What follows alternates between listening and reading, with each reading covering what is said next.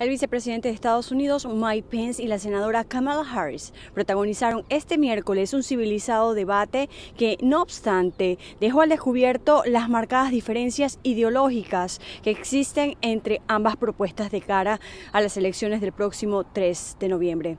El manejo de la pandemia por parte de la administración de Trump y el tratamiento que ha dado la Casa Blanca tras el presidente dar positivo al coronavirus centraron el foco del debate. Las divisiones raciales y la economía fueron otros puntos relevantes durante el encuentro. El tema migratorio fue el gran ausente de la noche.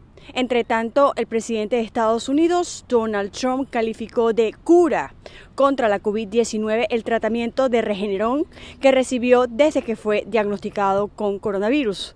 El mandatario destacó que cuando ingresó al hospital no se sentía tan bien y en solo 24 horas se sentía genial y ya quería salir del hospital. Todo después que le fue suministrado el cóctel de anticuerpos. Desde Washington, con la agenda informativa, les informó Sofía Pisani, Voz de América.